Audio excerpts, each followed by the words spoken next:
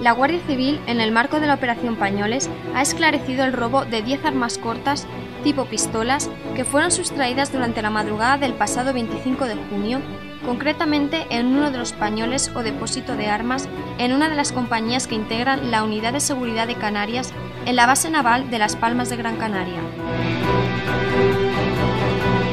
Como resultado de dicha operación, se ha procedido a la detención de dos personas a las que se les imputa un supuesto delito de robo con fuerza en las cosas.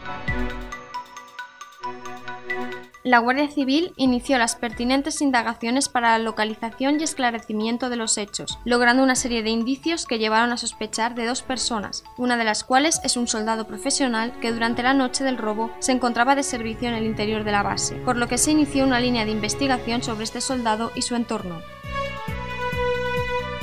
Finalmente, se pudo establecer que los supuestos autores habían ocultado las armas, primeramente en una finca del Zumacal y posteriormente fueron trasladadas y enterradas en un solar del barrio del Salto del Negro, en el término municipal de Las Palmas de Gran Canaria, donde fueron recuperadas tras desplegar un amplio dispositivo de medios técnicos y humanos, contando con el apoyo de miembros del Batallón de Zapadores 15 del Ejército de Tierra y miembros del Cuerpo de Infantería de Marina de la Armada de la Unidad de Seguridad de Canarias.